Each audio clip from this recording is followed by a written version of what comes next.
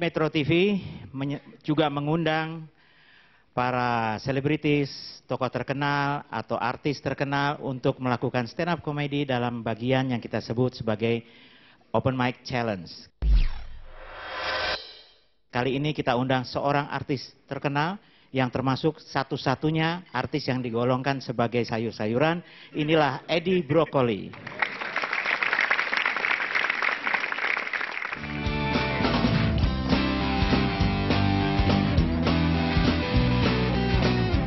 Halo, gua Edi Brokoli, eh, profesi eh, entertainer lah ya. Ini pengalaman pertama buat gua open mic, jadi jujur aja tegang sih. Semuanya di badan gua tegang saat ini. Ah, jadi mau lihat aksi gue Edi Brokoli nih, kita lihat di dalam yuk.